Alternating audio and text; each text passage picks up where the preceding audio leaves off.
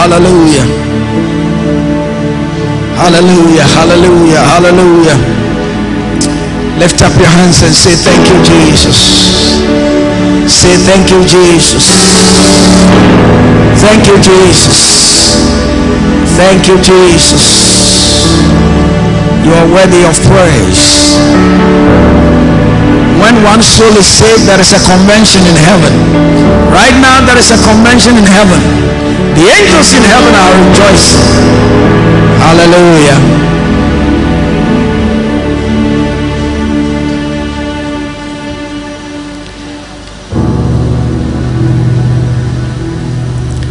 My topic is to speak on the fullness of Christ through spiritual warfare.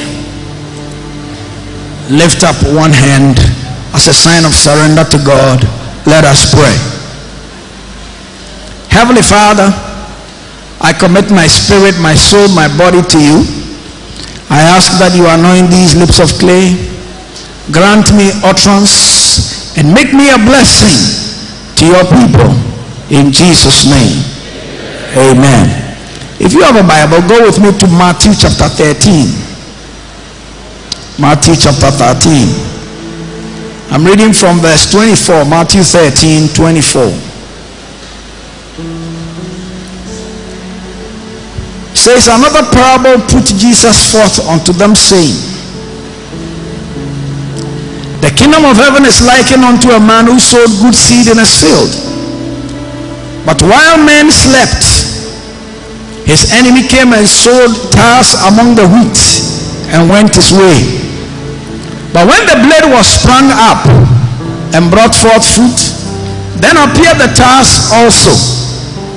So the servants of the householder came and said unto him, Sir, did you not sow good seed in your field? From whence has it the tares? He said unto them, An enemy has done this. The servant said unto him, Will you then that we go and gather them up? But he said, No, lest while you gather up the tares, you root up also the wheat with them. Let both grow together until the harvest, and in the time of harvest, I'll say to the reapers, Gather ye together first the tares, and bind them in bundles to burn them, but gather the wheat into my barn. May God bless the reading of His holy word in our hearts. Give me a believing amen. This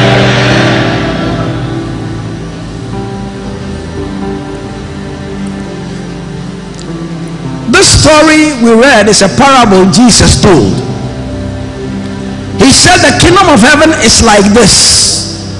A man went to sow tares, uh, went to sow wheat, and in the night while men slept, the enemy came and sowed tares among them.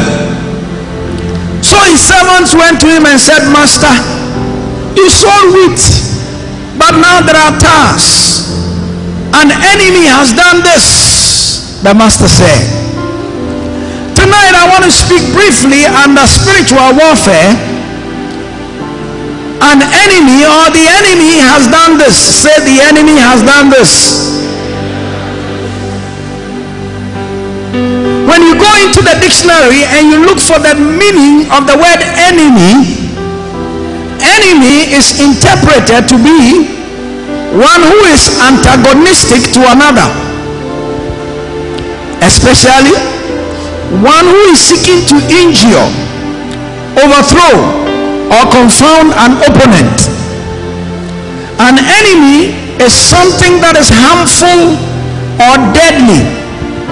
A military adversary, a hostile unit or force, or one who impedes the progress of another, an opponent, an adversary, a foe, a rival, an antagonist, a combatant, a challenger, or the other side. These servants, the Bible says that in the night when men slept, a thief can only steal from you without your knowledge of it. A thief never steals from you when you have knowledge. And the Bible tells us that the devil is a thief. He has come to steal, he has come to kill, and he has come to destroy. He only takes advantage of us when we are not aware of it. The Bible says, in the night when men slept, time will not permit me to belabor this point on when men slept. You remember that in the days of King Solomon, one day two women came with babies. One was dead and one was alive. And the women said this. One said, In the night, whilst we slept, my neighbor slept on her baby. And in the morning, she took my own and is claiming that is her child. Now, it is very interesting to understand for a nursing mother to sleep to the point that she will sleep on her baby means that mother is very insensitive. If you are here with me, give me an amen. But that is what happened exactly. And there are so many believers today who are sleeping on their babies. When I talk about baby, I'm talking about something that is your product. There are so many people, the business they give birth to, they are sleeping on that business. There are some, the marriage they gave birth to, they are sleeping on that marriage, or they are sleeping while that marriage is going waste. They said, whilst men slept, things happen only when people begin to sleep. if you were sleeping tonight, may you wake up. Oh, you didn't hear me. I said, if you were sleeping tonight, may you wake up in Jesus' name. If you were sleeping in your ministry tonight, may you wake up in Jesus' name. If you were sleeping in your ministration tonight, may you wake up in Jesus' name. If you are sleeping in your giving tonight, may you wake up in Jesus' name. But whilst men slept, the enemy only operates when people sleep or people operate in ignorance and they don't know. The Bible tells us that the devil is our enemy. That means he's our opponent. He's our antagonist. He has come to impede us to make sure we don't make progress. But by the end of this convention, whatever was impeding you will be removed from your path in Jesus' name.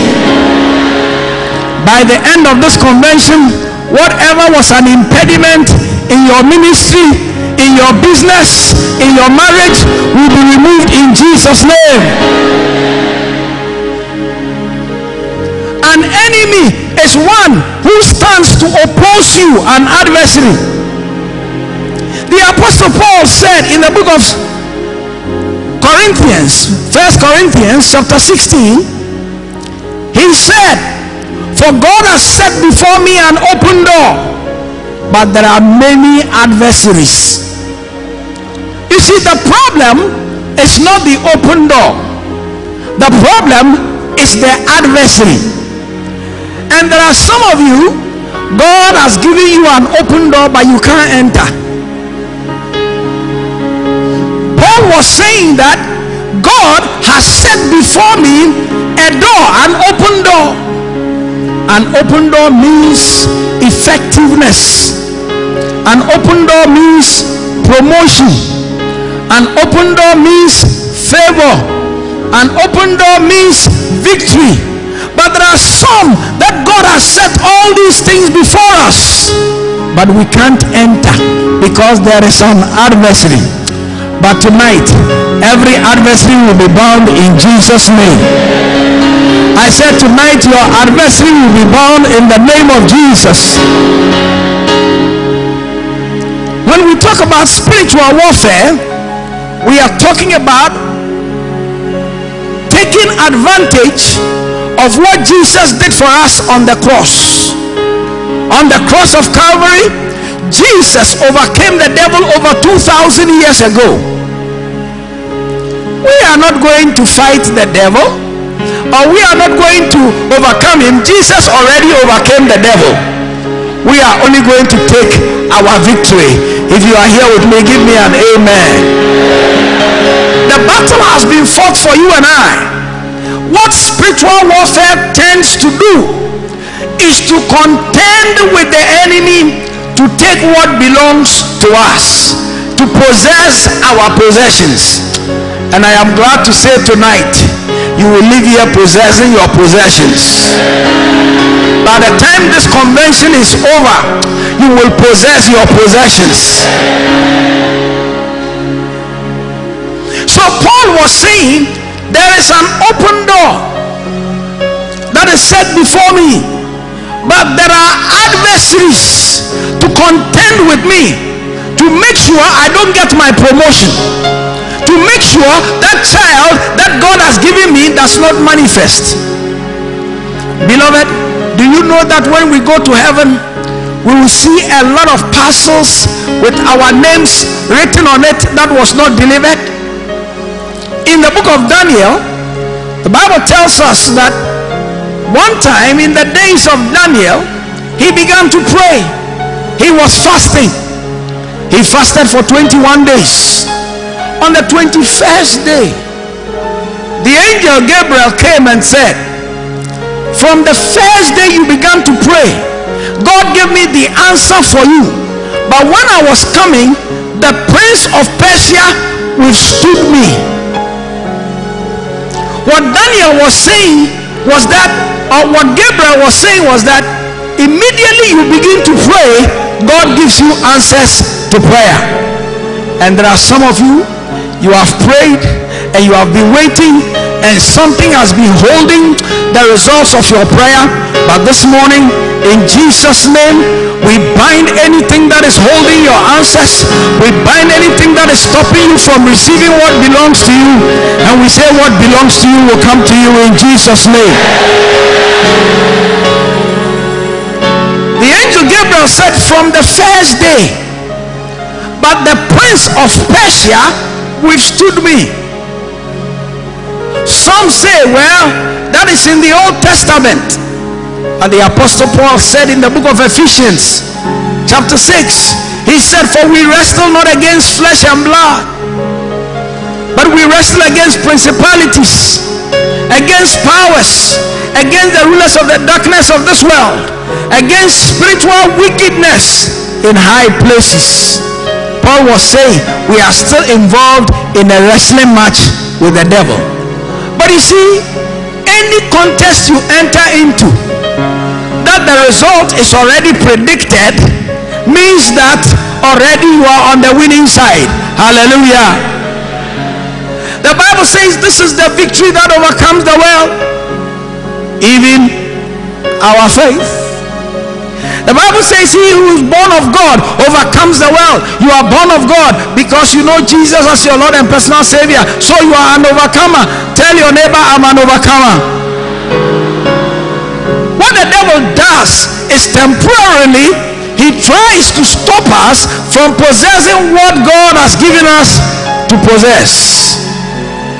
But I came to assure you that whatever belongs to you will come to you in Jesus name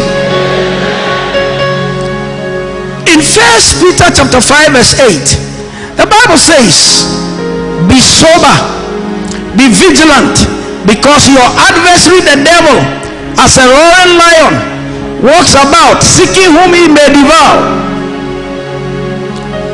your adversary the devil the devil is our enemy our adversary He's like a roaring lion. He's not a lion.